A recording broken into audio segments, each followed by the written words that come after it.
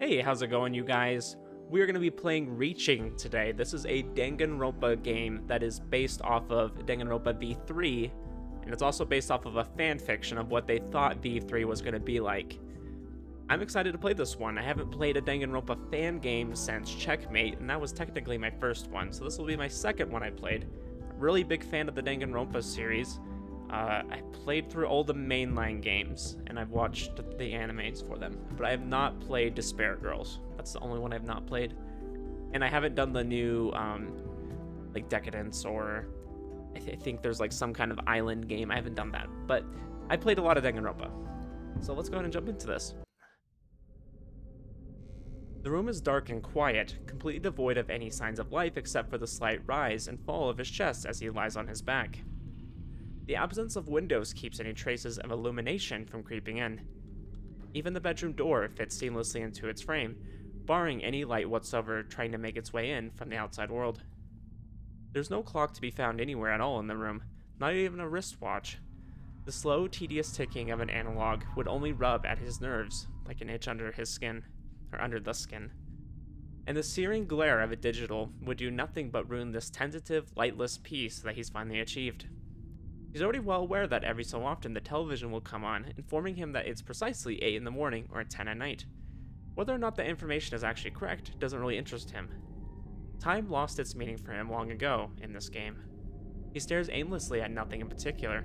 There's no light which with which to see anything, but even if there were, he's left his usually cluttered room barren this time around. Gone are the stacks of cardboard boxes, the piles upon piles of books and binders which were once half hazardly strewn all along the floor at random. Gone is the mountain of crumpled paper balls, which once dominated his trash can, filling it to the brim with discarded theories, plans, and memos to himself. And gone, too, is the whiteboard, which once stood, in, stood front and center in the room, completely covered with pictures of his fellow classmates as he stood in front of it. Trying for hours on end to pinpoint the link tying them together and the ringleader behind this game that they're in. Rather than just gone, he should say they never existed in this room in the first place. He doesn't need them this time around. There's no point anymore. Oma stares at the ceiling, feeling like the darkness pressing down on his eyelids every time he blinks and thinks about the mechanical press which killed him the last time. Wow, they're really just going straight into V3 spoilers. It's almost funny, he'd really thought that one might actually get the job done. He sighs and shifts onto on the bed, hoists the covers up over his shoulders, and tries to sleep. But it's a futile effort, and he knows it. Exhaustion seeps through every bone in his body, beating him like a drum, like a mechanical press crashing down. Right above his eye, but he still won't be able to sleep no matter how hard he tries. After all, whenever he closes his eyes, he can clearly see each and every wrong step, wrong turn, wrong move. He can see every wrong guess he's ever made playing out on the backs of his eyelids like a movie on a screen. Reaching. I really like this little graphic here with the hands like trying to touch each other. Dang, they made him look like really chibi and adorable. I like it. I'm Oma Kokichi. He told him so instantly when the girl and boy asked for his name that that much came to him easily. But when it came to his talent, the answer tripped over his tongue and he couldn't quite figure out why. I'm I'm the super high school level supreme leader. I mean, it's been so long since I played Danganronpa V3. I don't even remember what his freaking talent was. Like, it was it was very confusing. It felt like the right answer, and yet it left him with a nagging sour taste at the back of his mouth, as if he told them he was really blonde haired and six feet tall. Yeah, that would be a lie for sure. He chalked it up to having woken up unconscious in a locker only half an hour earlier and pushed the sensation down before flashing them a grin. Ooh, it's Saihara. S Supreme Leader? The boy in the hat went pale, and Oma's eyes lingered on the, the way his fingers instinctively twitched in surprise. I'm sure that's just a joke. Just a little joke to lighten the tension, right? She arched an eyebrow back at him skeptically, clearly hoping for an affirmative. The silence stretched on just a moment too long, and then he broke it with a laugh. Nope, it's the truth. There was that sour taste again. I'm the supreme leader of a secret organization. Wow, they really captured the way like his facial expressions change. He gives that like really like dark and sinister look, and then he gives this really happy, bright smile. But don't worry, it's nothing too dangerous as long as you don't try to dig up too too much information on it. The boy and the girl exchanged looks that clearly questioned the state of his sanity, but they didn't pose any more objections to his introduction or his talent. And when the boy in the hat reluctantly reached out his hand for him to shake, he almost took it. But the arrival of a strange looking student, was that a robot? interrupted the scene, and he took a step back and watched as the other two took the lead again.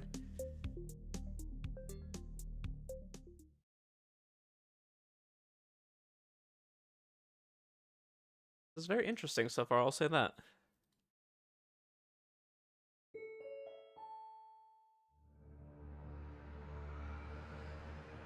Oh, we're literally we're literally like 10 not even 10 minutes in the game and someone's dying.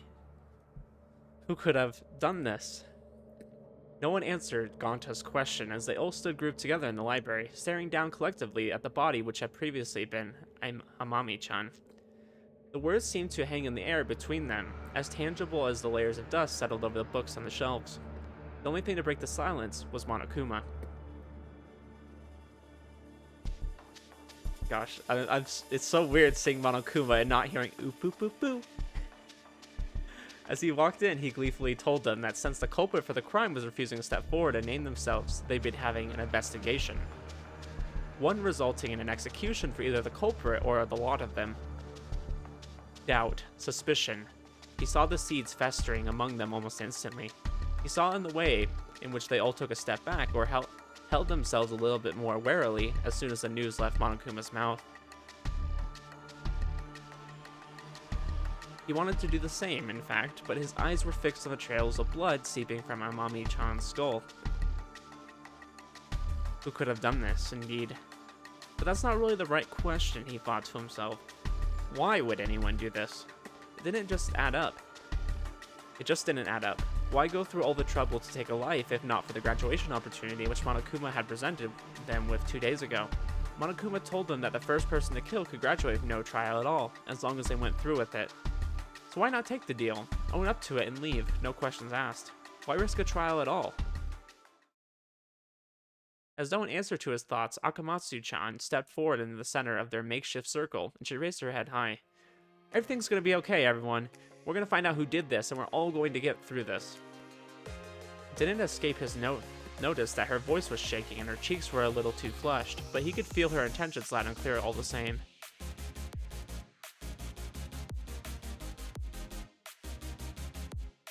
Oh my gosh, they look so adorable. I love these sprites.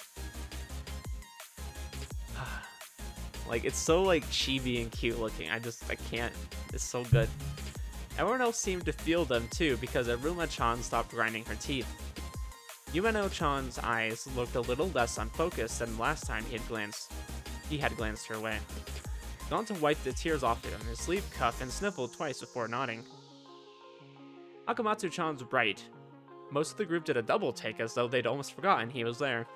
All but two of their eyes towered over him physically, but he met their eyes with an old, familiar confidence the kind of confidence expected of him as Supreme Leader. His head started to pound at the thought, but he paid it no mind. We can't waste time like this. We need to start investigating him fast. Yes, exactly. What happened here? It's a tragedy. There's no way around it. If, but if it's for everyone's sake, we have to keep going. We have to find whoever did this. We need to find out who they are with no room for doubt. As far as investigating goes, I think I could be of assistance. What the hell do you mean as far as investigating goes? You're a detective, so of course you're going to be at the center of any investigation plan we could come up with. Get a grip, Saihara-chan. Oh. All three of them discussed how to best split the group so that they'd be able to gather as much evidence as possible. They sent them all off quickly and surely on the tasks that they thought best suited to each of their talents. But as they all set off in twos and threes, he found his eyes pulled again to the blood-stained wood on the library floor.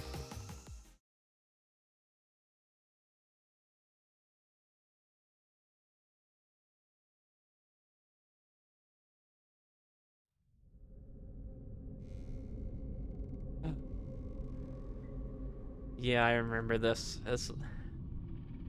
Oh, I remember this trial. I did it. Tears. I did it, and I'm sorry. I'm so sorry, everyone. More tears. I'm so sorry, Amami-kun. And the whole group was in shambles, and Akamatsu-chan was standing in the center of their circle once again. Only the difference this time was that she was about two minutes away from being sent off to die, and all because she wanted to help. She told them the ent entire sordid tale about how she had only wanted to target the ringleader and put an end to this game once and for all. About how she had tried to stop the killing game before it even began. Please live strongly, live together, find the truth, and get out of here. Her bravery shook them all to the core.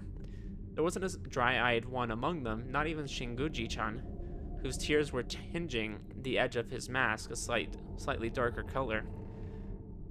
Not even himself, he realized, and his fist shook as he tried to meet Akamatsu-chan's eyes while she said goodbye to each and every last one of them.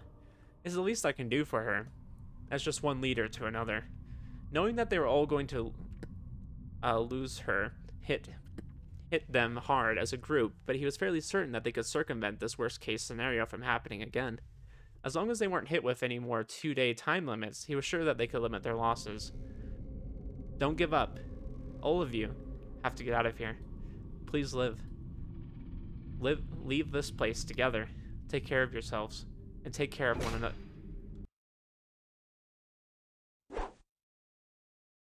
The metallic shriek of the collar snapping around Akamatsu-chan's neck interrupted his train of thought. Everyone in the room yelped and stepped back, and Oma watched wide-eyed as Monokuma showed them all for the very first time the true meaning of the word execution. Saihara-chan's screams echoed across the room as they lost Akamatsu-chan from their numbers for good.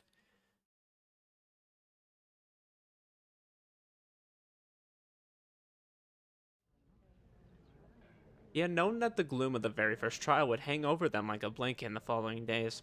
The morning after the trial, they had all met up for breakfast and tried awkwardly to piece together where they might go from here. But no one's heart had really been in it. So when Tojo-chan expertly slid a plate of Western-style breakfast in front of them at the table... Wow, thanks, Mom. This really hit the spot.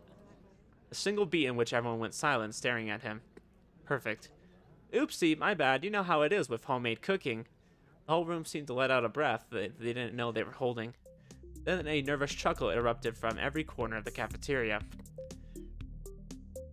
I really like like this perspective, like that Oma was like really just trying to cheer up everyone after this whole game. Pretty crazy. I mean, I, I, I haven't played the game in like so long. I played it like I don't know around the time it came out or like a year after but it, it's been a few years for sure. So it's like a really good recap. Even Tojo-chan's nearly normally immovable expression of refinement had looked a little strained, as though she was biting back the urge to smile. As long as it's an honest mistake, I'll let it slide. However, Omakun? Yes? Can I have your word that you won't call me mom again? Oh yes, absolutely. Cross my heart, hope to deny. You have absolutely no intent to stop anytime soon, I see. Just reminds me of that meme. Mommy? Mom. Mommy? Mom. Mommy? With the matter concluded, everyone, little by little, went right back to paying attention to their breakfast.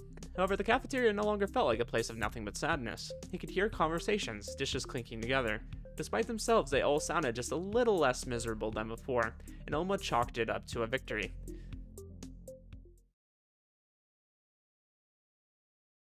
Their progress had been slow but steady, and little by little it seemed that they were all finally acclimating to things. Saihara-chan in particular had taken the most drastic leaps in development. Oma had thought that the jumpy, nervous boy dressed in all black would almost definitely hold himself up in his room forever after the school trial, but instead he was the one of the ones trying their best to keep the whole group going. For his part, Oma tried formulating their best course of action. Of course, finding the truth and getting out of this place was important, but he thought it best that they all get accustomed to school around them first. They would never last long if they couldn't find a way to abate the tension somehow, and their laboratories and new areas of exploration had offered them all some small measure of comfort and distraction from the tragedy they witnessed. Monokuma's motive videos had posed a slight wrench in his plans, but it wasn't as though he hadn't anticipated another motive after the first one. Everyone agreed easily to the plan he had put forth. As long as they only had motives for each other and not their own, it would be easy to avoid any deaths this time around. Yumeno Chan's magic show even seemed like an exciting initiative. Perhaps the show to lighten the mood and boost morale was exactly what they all needed. That was what he thought before they'd found Hoshi-chan's body floating in the tank. He was suspended there for only a single instant until the piranhas lunged and ripped the meat straight off the bones. At the sight of everyone's shocked faces, the tinged red water at the tank, while bones and chunks of flesh settled. And the bright, beaming smile on Yumeno-chan's clueless face as she stood posing, unaware of the catastrophe behind her. Oma felt the sour taste in his mouth again.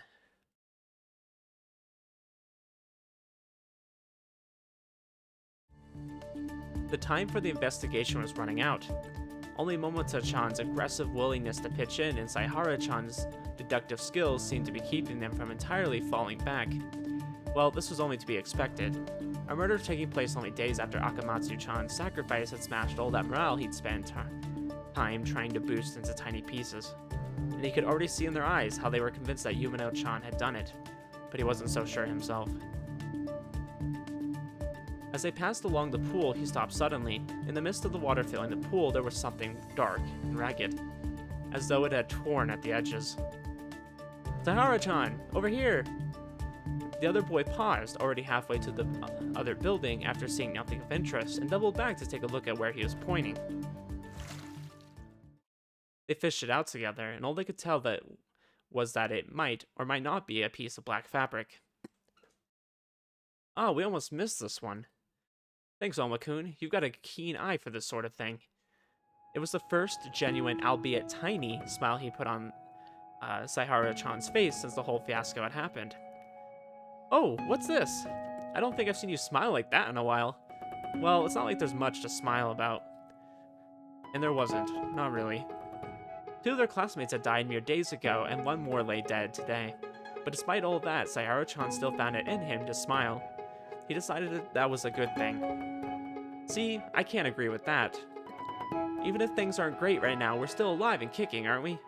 I can't really be that optimistic right now, but I guess you have a point. Hmm? Optimistic? Moi? I don't know about that. In any case, you're the one who stopped bringing his security blanket everywhere. Dare I say, you look a bit more confident than before without it. My, are you talking about my hat? That aside, I wouldn't say I'm feeling particularly confident right now. I'm only an assistant detective for now. But as far as using whatever talent I have for the sake of the group, I feel like if we all do that, we'll be able to prevent further deaths. So I can't really keep that hat on. Does that make sense? Hmm, I suppose it does. It makes sense in a very manga character-esque way. Eh? That's... No, that's probably true. Momota-kun must be rubbing off on me. Yeah, well, it's a silly train of thought, but it's not like it's entirely bad to think that way either.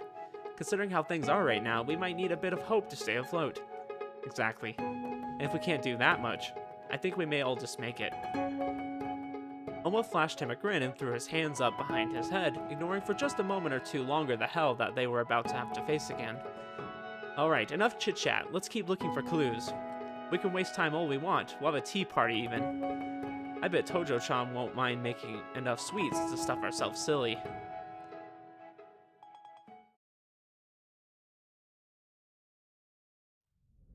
Murmurs and hesitant whispers of why flew up from all around the trial room. Tojo Kirumi stood a little ways apart from the rest of them, her gloved hands crossed elegantly in front of her. She was looking surprisingly resilient for someone who had just been sentenced to death. Hey, hey, when did it start? When did you start lying to all of us? Angie-chan's usual whimsical voice carried a rather stinging note for once. Or stinging. You kept telling us you were going to take care of us, but was that always a lie? Her eyes seemed surprisingly sharp for a girl so often looking to the heavens as she talked about her god. Oma thought back to the Western-style breakfast and all the offers to do laundry, thought back to the slip of the tongue he'd had in calling her mom in front of everyone. If he and Saihara-chan hadn't found that piece of her glove, just where would they be now? Would she even have shed a tear as they went all past all went past to their deaths? And even if she had, would those tears have meant anything at all? Don't be stupid. Of course not. No one would care for others more than themselves in a situation like this. And I'm a fool if I thought otherwise for one second. How could he have fallen for such an obvious ruse? They had all fallen for it, hook, line, and sinker, but wasn't he the one with the most at fault for failing to see through it? What kind of supreme leader did that? Not a very good one. If I tell you why I did what I did, you're all going to be very sorry.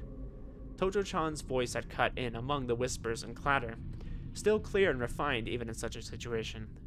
You regret knowing. Are you sure you'd still like me to tell you?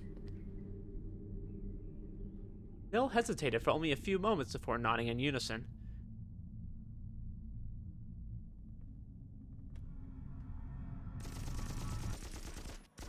The room was like a scene of a massacre. Just like a picture taken straight from a history book he was sure he'd read at one point or another. One of the pictures that the teacher would always tell you to skip past, of course. I never should have let her speak. Another crash, more screams. The Exisals were on a firing rampage, and everywhere he looked was blood, blood, blood, more blood. I never should have even let her open her mouth. Oma wasn't even sure where he was going or if there was anywhere to go. The room was an explosion of screams and gunfire, and if he stopped too long, he might notice Momota-chan's body groaning and wheezing on the floor, or Gonta with a chunk missing out of one of his shoulders, but struggling still to stand in front of Yumeno-chan Tabar Tabarashira-chan. His eyes darted around the room, caught sight of an elegant maid in a black dress just managing to slip to the exit. I should have known that distracting us would be her only way out. Win us over with her story, get us to fight for her. Meanwhile, she... A hole opened up in his chest the moment he stopped moving, and the entire world shuddered as he fell on his side. He had to keep going, had to find a way to stop Tojo-chan from... from... From what? Everyone in this room was already dead or dying. How could I have hoped to avoid this scenario exactly? And it hurt. It hurt. It hurt. And it hurt. There was a strange elevate, strangely elated feeling in the pit of his stomach as he closed his eyes and let the world go dark.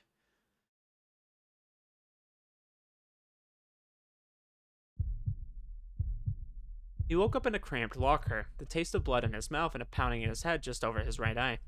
The darkness pressed him like a vice. So he only did he did the only thing his disoriented self could manage.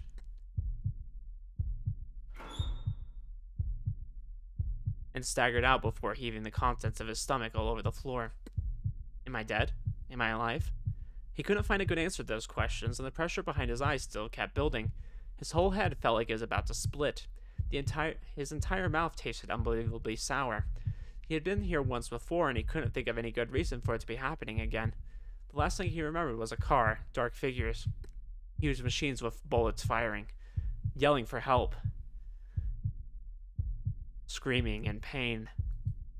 He was still on the floor retching when someone else ran in, and he felt the sensation of a cold metallic hand along his back. Excuse me? Hey, are you okay? Are you okay? What's your name? Oma wondered if he should have never stepped out of that locker the second time.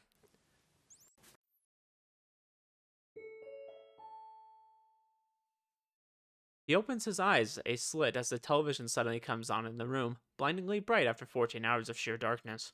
It tells him that it is now 10 p.m. He quickly goes back to tuning the rest of the program out, letting the colorful figures bounce around and put on their useless show until the screen blinks off again. He's thankful for the strain being taken off his eyes, but it's still not as though he'll be able to sleep. They all had thought he was scared, probably, or more or it was more like they hadn't known what to make of him. He never introduced himself when they came again. Seeing his state, Kibo had called out frantically for help. And when the girl and the boy with the hat had come running, Oma had taken one look at Akamatsu Kaede's still very much alive face and turned to Retch again. That time, there hadn't been anything to come up except bile. It took him half an hour to stop shaking. The whole time they kept looking at him awkwardly, clearly unsure of what to say. Occasionally, someone else would walk past the classroom to peek in and see what the commotion was about, but he just stared speechlessly at them. Yo, the name's Amami Rantaro. Everything okay in here, or... He didn't say anything in reply, only stared speechlessly at the same familiar hair and face of the and body of the boy he was fairly certain he'd seen dead on a library floor. I like how flamboyant he looks. Freaking this avocado guy. Akamatsu-chan looked up at him pityingly for a second, split second before standing up and taking the conversation out to the hallway.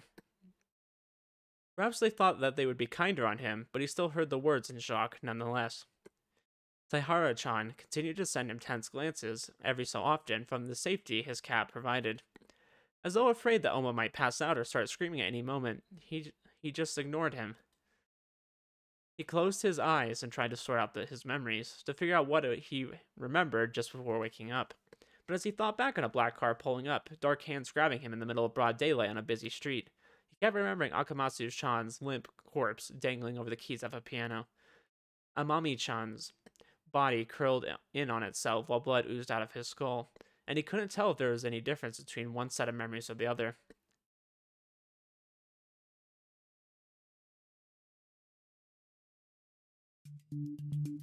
Hey, Amami-chan. Oma raised a hand in greeting, and the other boy waved back, although hesitantly. Oh, hi there. Don't sneak up on me like that, you almost gave me a heart attack. He had never greeted any of the group with his usual gusto this time around, even after the whole locker incident had passed. He had barely had it in him to tell them his name before stumbling back to his room. They probably thought of him as a nervous wreck. There was no way for him to tell them what he had seen. In the end, he just let them think he was claustrophobic from being shoved into the locker and in shock from being kidnapped. He wasn't even sure what he, of what he had seen. There was always the possibility that it had been some kind of hallucination. Maybe he was still hallucinating, in fact. He also wasn't sure whether the possibility was comforting or not, but the more he thought on Amami-chan's, Akamatsu-chan, and Hoshi-chan's lifeless bodies, the more he felt he ought to do something. Hallucination or not, it had all felt very real at the time. And if they were still heading down the same path in this same killing game, then he felt he, at least, should try avoiding the same outcome. What kind of person could see all that and not even try to intervene? He wasn't sure where to begin, though. Telling any of them that he'd seen them dead would only convince them that he was out of his mind, or easily the most suspicious member of the group. They'd probably just take it as a threat. He hesitated, but couldn't help but ask. You're not trying to do anything by yourself, are you? I mean, about the time limit? Amami-chan looked at him long and hard, the usual half smile gone from his face as his expression hardened. Oma blinked, trying to keep his face impassive. Of course not. I wouldn't do something like that. Probably wouldn't end up well, you know? Right, yeah. Oma saw a muscle twitch on the other boy's jaw, and he knew that he was lying without even knowing how to put it in words himself. Well, I was just asking. Everyone's been worrying about the time limit lately, and it wouldn't be good if mm-hmm. anyone went off doing things on their own. just trying to help. He smiled and put his hands behind his head, trying to remember just how he managed to look friendly the very first time around. I'm the super high school level supreme leader, you know. Amami-chan looked a little less suspicious after that, his eyebrows arcing up behind his bangs. Then his slight half smile returned. No offense, Oma-kun, but I wouldn't really have pegged you th that for your talent. Then he turned, leaving Oma alone in the middle of the hallway. Oma-kun, why would you think that? He'd known Amami-chan wasn't going to listen to him, so he thought perhaps Akamatsu-chan might but the situation wasn't getting any better, and he didn't know how to defuse it. I... I just heard you and Saihara-chan talk about meeting up in the library the other day. A lie. Well, technically it wasn't a lie. It probably still counted as only a few days ago when he had heard them both admitting their plans to meet up in the library together after they found Amami-chan's body. She studied him shrewdly, clearly trying to see if he was implying anything or not. He hadn't told her anything specific other than telling her to stay away from the library, and she clearly didn't know how to make heads or tails of it. After a while, she sighed and scratched her head. Look, I don't know what you heard, or thought you heard. He stared at her unblinkingly, almost daring to hope for half a second that she might change her mind about the whole thing, even if Amami-chan didn't. But it's not nice to make up lies.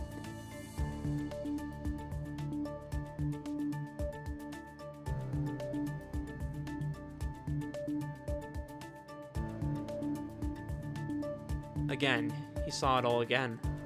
Everything went exactly the same. He saw the splatters of blood on the library floor. And the way Akamatsu-chan's fist, fist trembled when she stood there and saw the body. Only now he knew exactly why she was trembling in the first place. At the trial, they all hit the exact same roadblocks. He could see the hesitation on Saihara's-chan's face, and the fear of exposing a lie for a more painful truth. But Oma no longer wanted to wait around for the trial to play out painfully, gradually, slowly, the way it had the other time. Like ripping a band-aid off a wound in one go, he spoke up, causing a sudden hush to fall over the rest of the group. Hey Akamatsu-chan, weren't you and Saihara-chan both hanging around the library before all this happened? Could see the hurt in her eyes. Seeing her wonder why she'd speak with such noticeable accusation in his voice, when she was already stealing her resolve to do what she had to do. But he pressed his point. After all, she was the one who had said she didn't like lies.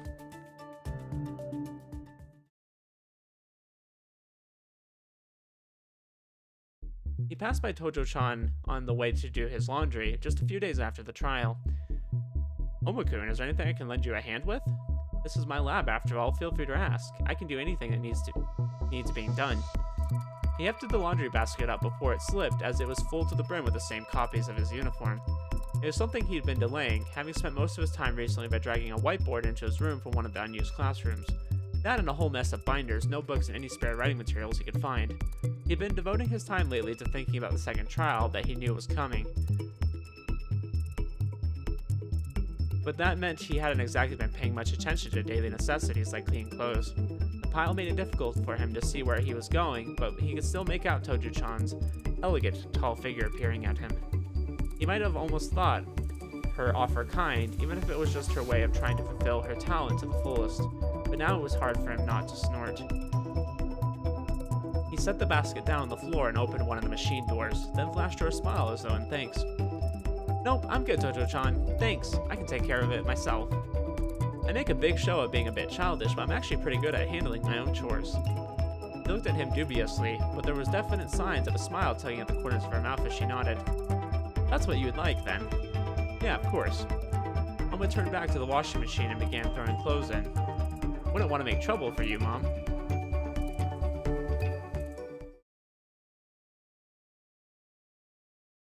He paused just before rapping on Ho- Hoshi-chan's door.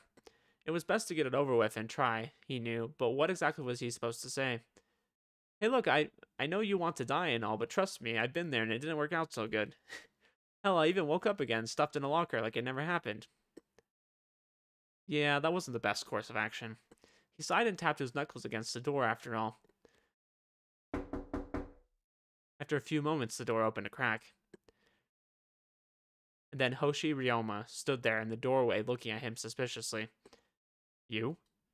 The tennis player looked past him on either side, clearly wondering why he was there outside his door like this this when they very nearly hadn't said a word to each other ever since the day the game had begun. Is there a problem or something? He didn't sound hostile, merely unable to comprehend what he could possibly want from him almost sympathized a little at the notion that this was a person who didn't think of himself as someone who had anything to offer to others. He hadn't noticed that about him at all last time. If he truly is a supreme leader, then he's definitely trying to keep this group from dying, and it's something he should definitely take note of. No, there's no problem. I just wanted to talk to you. He let a sentence trail off, still contemplating the best way to broach the subject.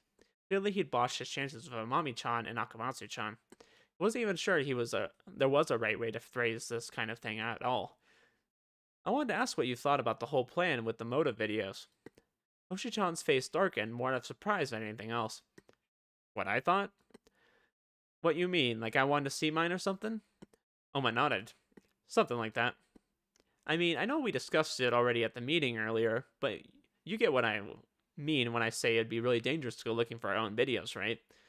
Hoshi-chan didn't respond, so he continued talking on ahead, trying to fill in the silence. I didn't think you would. I'm just worried something bad might happen if any of us saw our own videos. It doesn't sound like something we should let Monokuma bait us into. The awkward silence stretched out again, and just when he thought Hoshi-chan would never answer. Yeah, well, that ain't gonna happen. No need to worry about me. He was still processing those words when the door slammed in his face. I don't know if that sounds too hopeful or not. Sounds like he's probably going to. At the second trial, Oma felt as though a lump were stuck in his throat. Part of it was undeniably due to the fact that Hoshi-chan had wound up in the piranha tank the exact same way as last time. The sensation was mostly due to the fact that he knew the hard part was from here on out. Tojo-chan stood with her hands clasped, and this time he knew better than to think that she had begun resigning herself to her fate. Are you sure you'd still like me to tell you? There came the same familiar words as last time. He watched with narrow eyes as the whole group leaned in close and listened to her speech about how the whole of Japan was falling into chaos in her absence. How it would be better if the whole lot of them were to die for her sake. She spoke eloquently and confidently, and as sincerely as a mother to her children. You could tell, as her eyes bored holes into the side of her face, that she believed every single word she was saying. But there was still something about her words that stank horribly. He didn't let a single moment pass this time. The group was just beginning to get well and truly riled up when he spotted her. She was trying to slip away unnoticed to the back of the room as everyone debated whether or not they could take on the Exisals with the forces they had now. Hey Tojo-chan, their eyes locked. Like it or not, we voted for you. Don't think it's kind of unfair to miss your own execution? The room went dead silent for one beat, two beats, and then... Tojo-chan sprinted off at a run as the Exisals in the room pointed her way. Monokuma erupted into a fit of cackles and almost stood and watched and reminded himself that at least he and the others were still standing in the room this time around.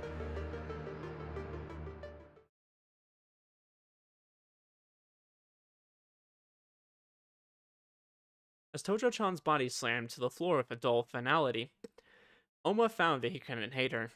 He remembered the bullets that tore open his chest the last time, the screams of blood and chaos in the air as everyone had tried to avoid the exisals, the dead bodies littering the ground. They'd avoided that outcome, and that was all that mattered. But all he could think as he looked at Tojo-chan's prone corpse was the way in which she fought to the end. Failing to reach the exit as the saws began to grind against her bones, and the look on her face once she realized that there had never been an exit all along. The look on her face as she came crashing back down to the full weight of gravity and of death.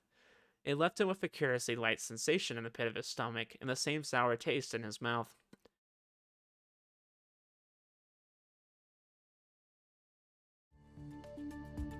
He threw himself full force into his investigation after that. It was all new territory to him from this point on. He hadn't even lived this long last time, and he wasn't nearly naive to think that Monokuma wouldn't hit them with another motive soon enough. Unsure of what he needed from the library or the other rooms, he took everything that he could carry.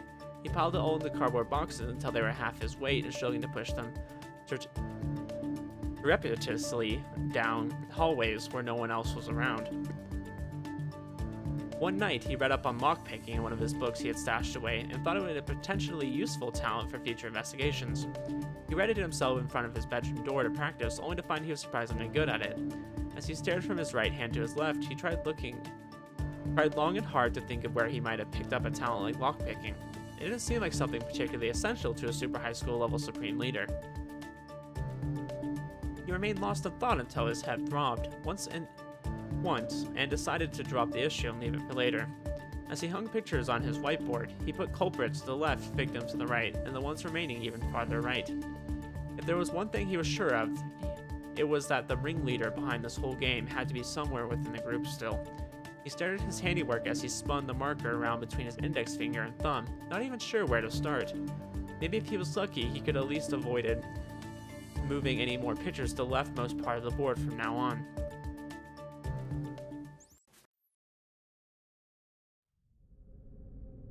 The television hadn't come on again, and he was and when he opens his eyes next, he can only surmise that it's not morning yet. For the first time in hours, he sits up in his bed, letting the sheets fall off him as he stretches his aching joints. Lack of use is only making them sore, and he doesn't particularly care. They're always sore whenever he starts over. They never stop being sore. Onward just stares blankly towards the center of his room. He's almost certain for a moment that he can still see the outline of a white board and cluttered heaps of cardboard boxes all the fruits of an investigation that in the end amounted to absolutely nothing. That's impossible, of course. The room is still pitch black and it's only been an hour or two since the last he tried and failed to sleep. He turns back on his side and closes his eyes again, and for a moment he almost would swear he can faintly hear the steady thrum of a mechanical press, but it's just the sound of the blood rushing in his ears.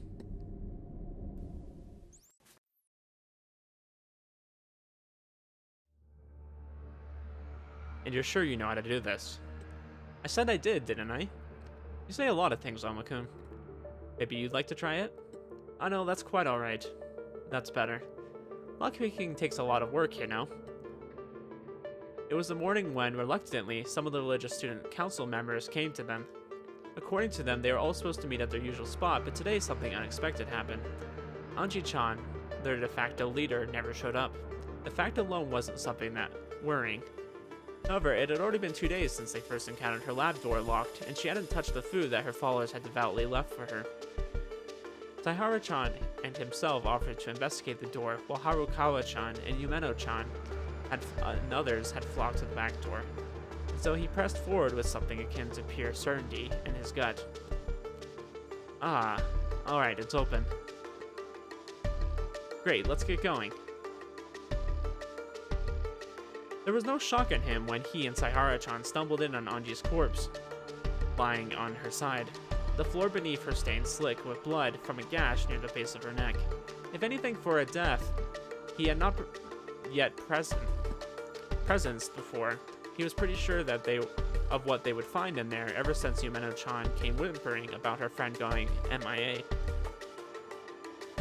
It wasn't until later, while they were carrying out their investigation, that he realized perhaps he should have pretended to be a bit more surprised about the wax dolls. But he already knew what it was like to walk into a room and see the dead brought back to life. So he supposed it couldn't be helped that a mere imitation just didn't cut it for him. In fact, he was finding it very hard not to count Angie-chan's body as just another wax doll in the room. Maybe if he died, again, he'd stumble out of a locker and there she'd be, walking and talking and praying to her death, uncaring God.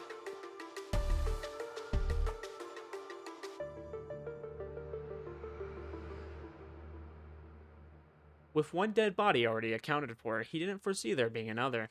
Life is funny that way. As he stared down at the open wound in Ch Chaba Chabashira-chan's neck, he apologized silently. He hadn't meant to assume that this kind of tragedy wouldn't happen again, just because it had already hit them once. After all, wasn't he the best one to know that there wasn't necessarily a limit on anything at all in this horrible game? And when he heard Shinguji-chan asking Monokuma about the fine print when it came to multiple murders, he knew, although he couldn't even explain to himself how, that there were those in this game who would kill only because of the game, and those who thought of killing itself as the game. He threw himself in the investigation with such a fervor afterwards that even Saihara-chan seemed a little lost. He collected as much evidence as possible, making lines and connecting points on the canvas in his head since he lacked his whiteboard board here trying desperately to ignore his nagging voice in his head that kept wondering if he'd still wake up in a locker again if he failed to prove the culprit this time around.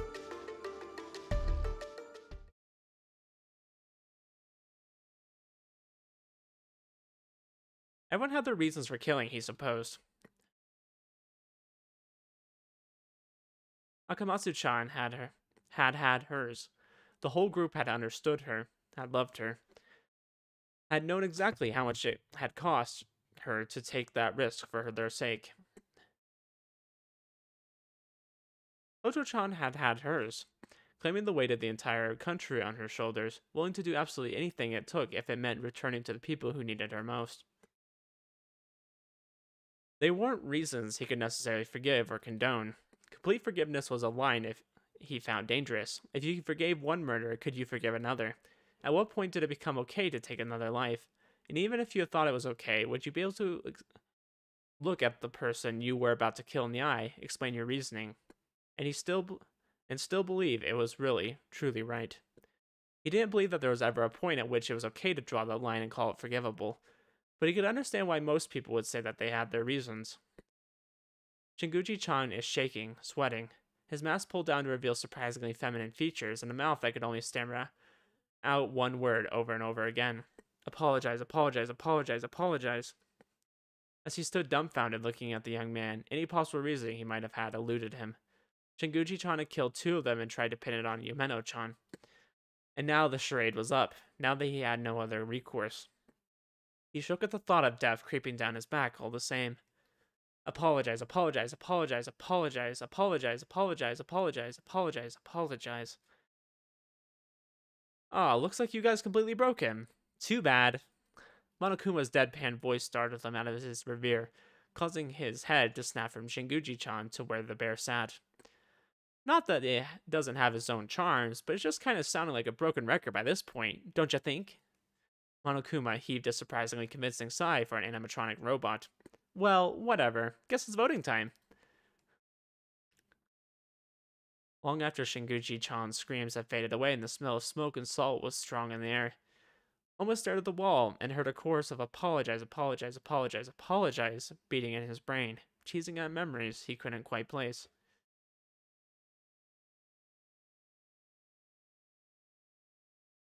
Following Shinguji-chan's trial, Oma Kokichi decided it was time to snoop around. Trying his best not to dwell on what happened, the investigation was back at the forefront of his mind, preoccupying all his time. He snatched even more binders and books from the library, reluctantly moving three more pictures over to the left side of his whiteboard. Even more reluctantly, he came to the conclusion that his investigation was at a standstill unless he could investigate his remaining classmates even more directly. This was how he found himself in, outside Harukawa Mak- Maki's laboratory door at night, well after the 10 p.m. Angie-chan's religious student council might have tried to keep them all well under thumb and stuck in the dormitories, but Angie-chan wasn't here anymore, and her short-lived reign was at its end. He stared at the imposing red door, wondering if it was really alright to barge right in. She made it painfully clear both times that he met her that she wouldn't tolerate anyone trying to look at inside. She very specifically mentioned the word screaming, and that just piqued his curiosity all the more. Why would a super high school level child caretaker feel the need to say that? No matter how it looked, nothing about her added up. If worse came to worse, he could probably fudge his reasons for being there, come up with some quick excuse. Swallowing hard, he turned the knob, pulled the door open, and was met with the sight of Harukawa-chan, holding a throwing knife. His mouth opened before it caught up with his brain. Harukawa-chan?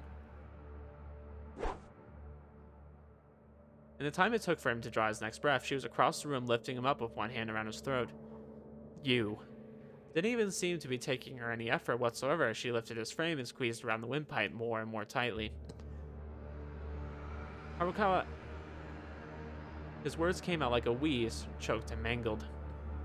His hand scrambled to, fi to find purchase on the hand around his throat, trying desperately to peel off even a finger or two back, trying to get at least, at least one more breath in but her grip was like a vice, and her one hand was more than enough to hold him in place, even as he struggled with all his might. I told you not to come in here. She said it as if choking him was a simple necessity, as if she was stomping on a bug she found crawling on her living room. Please. He couldn't even see the walls of the room around him now. The longer she choked him, the more his head swam. He was finding it harder and harder to keep moving his hands. Please don't, he wanted to say. This is pointless. This is reckless. This is meaningless. You're only gonna get killed too, or everyone else is, and what's the point even? With his lungs aflame and the world a mess of pitch black spots, he lost consciousness. He had known it was to fear death, what it was to fear death, but Harukawa Maki caught, had taught him that it was to fear pain.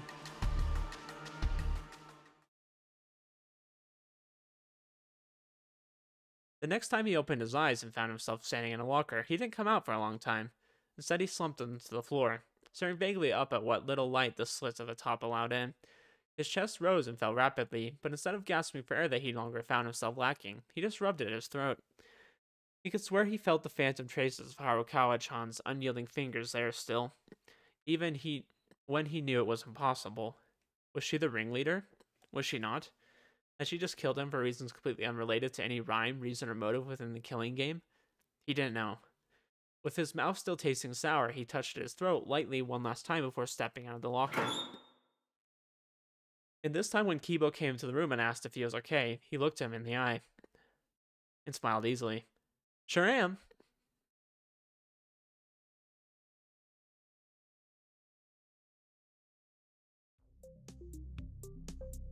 Aw, oh, come on, Akamatsu-chan. You don't have to sigh like that. I mean, yes, I'm being kind of mean to you, but that's kind of your own fault, you know? He wasn't sure why he teased her so hard when she'd come by to ask if he wanted to spend time together. In the past two loops, he'd accepted her offer gladly, and they talked at length about group leadership strategies, classical musical pieces, and her favorite types of tea. But this time around, he strung her along, made her feel as if he he wanted to spend time with her one moment, then shut her down the next. She was clearly losing her patience, running her fingers through her, her hair messily as she heavy, heaved out a sigh. This time around, it was plain to see that she was regretting not spending her time with anybody else right now. My fault. That's a lie, he wanted to say. Except it wasn't. He just kept remembering how easily she started to doubt him the moment he'd spoken up about the library. The Akamatsu Kaede in front of him now wasn't the same Akamatsu Kaede who had rejected his attempt at helping her. It wasn't really fair to take things out on her like this, and yet, if he'd failed to get through last time, then he'd just have to try harder this time. I mean, you forgot about me. She wasn't technically forgetting him after all, there was nothing to forget this time around. They'd never met before this game, and maybe she'd understand better if he put it in these terms. Maybe if she could understand what he meant, then he actually stood a chance of explaining the situation to her more fully. Huh? I don't. What do you mean I forgot? Oma searched her pale, shocked face for any trace of understanding. He found none. Akamatsu chan, you're so mean! Even though I never forgot about you this whole time, even though I cared about you. Huh? Uh, huh? Are you sure you aren't just mistaking me for someone else? She raised a good point. Technically, she was someone else. But she also wasn't. How could I mistake you for anyone else? I mean, do you know any other super high school level pianist? Akamatsu-chan? It was the best hint he could think to offer, but it went unnoticed. Like bait left untouched on a fishing hook, he stared at her with wide, round eyes as she fumbled for words, and at the moment, as the moments ticked by without her catching on, he came to the dry and satisfying conclusion that she simply wasn't going to. In the end, he threw his hands behind his head and laughed at her, Well, you really fell for a huge lie like that. You're so gullible, Akamatsu-chan. Akamatsu-chan furrowed her brow and looked at him with undisguised disliking. Clearly she was frustrated at the idea that she spent so much time worrying only to be made fun of in the end. That was fair. But he had hoped one last hint for her that this and this one he hoped would leave more of an impression rather than going right over her head. Hey, but if you keep being that gullible, don't you think you'll wind up being the first one to die?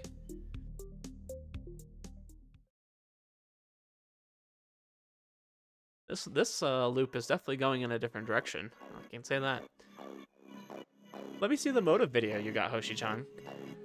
I feel like uh, Oma's acting a lot more like he usually does in the game. I wonder if they're like trying to paint this picture that Oma was this really nice guy before he came uh, into this killing game, and then like all these events changed him. I think that's an interesting take on it. I like it. The tennis player looked the most surprised he'd ever seen him. His usually creased eyebrows arched high in complete astonishment. Oma just stared at him calmly, his face carefully neutral. What the? Weren't you the one who said we weren't gonna watch the videos? You said it was a bad idea or something. Oh, that was a lie. It was getting easier and easier to say that. I wanted to calm everyone down, but I can't really guess what Monokuma might be planning unless I watch the videos for myself. There was a long pause. Hoshi-chan clearly seemed to be trying to sort out however much of what he was saying right now was true or not. Noah was glad to see from his face that he couldn't reach a conclusion one way or another. The other boy crossed his arms and stared up at him dubiously. Still, why'd you want to see you? Who's I got? It ain't got nothing to do with you. Look, I don't know what you're planning, but you gotta know it sounds fishy. Leave me out of it. He made to slam the door again, but Oma was expecting it this time, so he stuck out a hand, pushing it back just before it could close on his face. Look, Hoshi-chan, it was not very nice of you to talk about my plans when you're still trying to hide yours. I already know you want to see your own motive video. He thought back to how twice now he's seen Harukawa Maki standing coldly at the class trial, arms crossed, refusing to give the rest of the group her alibi. And I know who you think has it. So let me take one look at the motive video you got and I'll stay out of your way. There was a cold feeling in the pit of his stomach as he said it, a sense of dread and resignation all at once. Sorry, Hoshi-chan. It's not decided that you're going to die this time around. But this is just in case. Hoshi-chan stared at him from the crack in the door long and hard, clearly trying to make up his mind. Just when it seemed like he'd never answer. You ain't trying to hurt no one, are you? No. He's glad that the there was at least one question in this conversation he could answer quickly and honestly.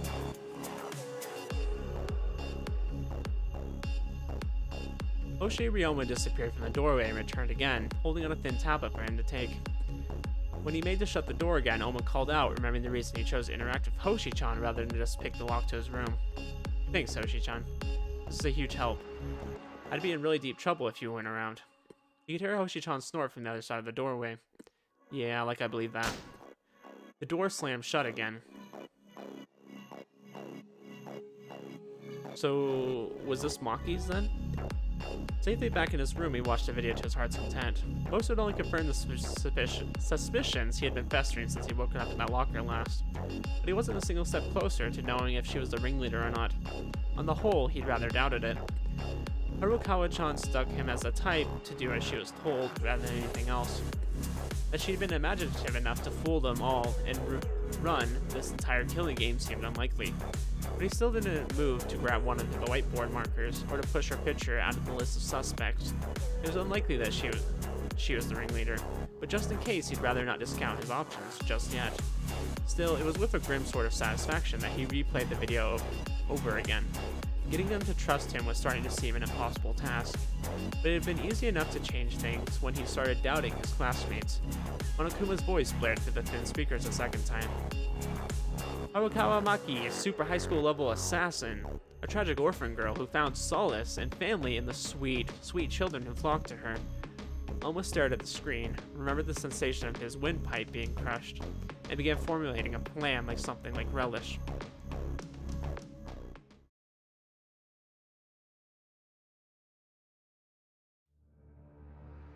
Hoshi-chan sure must have been delicious, though. I mean, did you see the way those piranhas just jumped in on him? Ah, stop it, stop it, I'm gonna be sick. I mean, really, they just gobbled him up. Didn't leave a scrap behind. Kinda makes you wonder what he tasted like, right? Stop, just stop. Can't you see you're making her sick? Not that they left any for the rest of us to try, but I guess that's what makes it even more curious. I mean, they could have just left one bite, right? Just one? I said stop. Chabashira-chan's raised voice cut across the trial room, and Oma's eyes never stopped flicking between Tojo-chan and Harukawa-chan. Every single person in the room looked like a mixture of queasy and startled, even angry. And yet those two seemed curiously calm in the midst of it all. His smirk widened a little. Nishishi? Sorry. I was just curious is all. Gosh, yeah, he's like slowly becoming his usual self.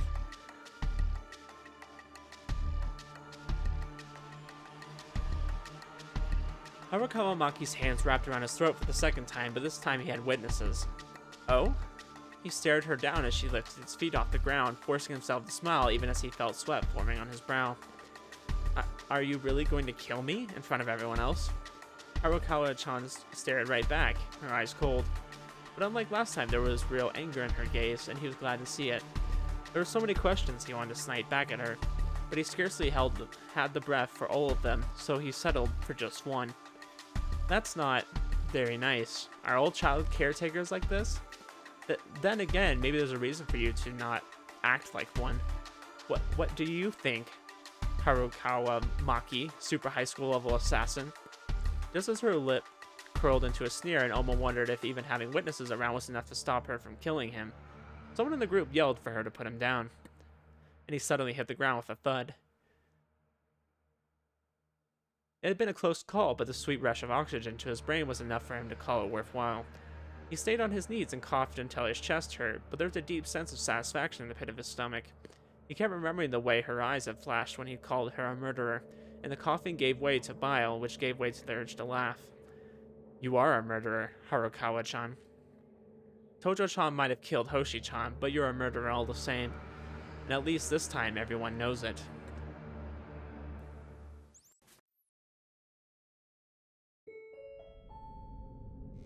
Dang.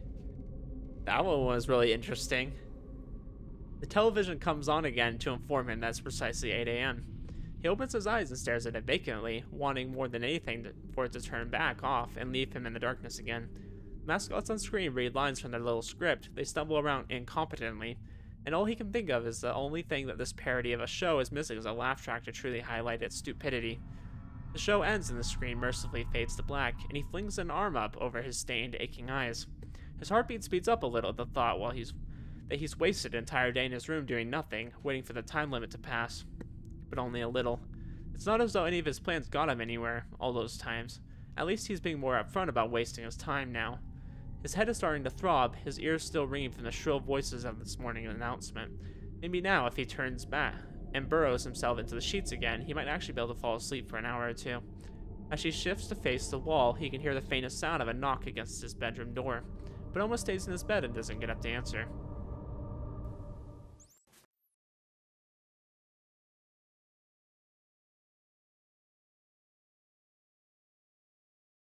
Well, honestly, that was really good. I really like the idea of Oma just like being in this loop where he has to like get to the end where he has to like solve what's going on. That really adds like a new like fresh perspective on Danganronpa V3 that like he was doing that all along, you know? Like that could have been the case. I don't know. I really like that. I think I think the art was probably my favorite thing though. I mean the story was really good too, but I like the art. I like how like cutesy it looked too. But yeah, I mean that was that was reaching chapter 1. I think the fan fiction goes further. I think it's like a few years old right now, so I'm sure there's it's probably finished, but this is chapter 1. I don't remember the name of the person who made this, but they made it for a gift for their significant other, which I thought was kind of cute. Uh, if they make another one, I will definitely play it because I, I really enjoyed that. I like found myself just getting sucked in, and I was like, I had to like shake my head for a second and realize like, oh, I need to uh, focus again. I was too wrapped in the story. I'm like, hey, I'm I'm in reality right now. I'm existing, but I'm like for that moment, I was like really sucked into the story. Uh, really good. I really liked seeing more of Kokichi. He was a character that like yeah, just kind of came off as like annoying and just like a trickster. But like I like seeing that side of him that he's like actually caring about everyone there, and he's like slowly becoming a little bit more. I guess for lack of a better way of describing it, a little sadistic. Like not not saying he is, but like the way he comes off to other people is just like this guy who doesn't care and is just trying to make chaos. You know, I I really like this different perspective change. It was nice. But anyways, guys, that was reaching chapter one, Darkness. Really good. Really enjoyed that. I, I will definitely play a sequel if there's one. But anyways, guys, I will be linking the fan fiction if you want to read on yourself, or if you want to read this again, uh, you can do so. And I'll make sure to leave a link to the game as well. So anyways, guys, I'll see you in the next one. Have a good one.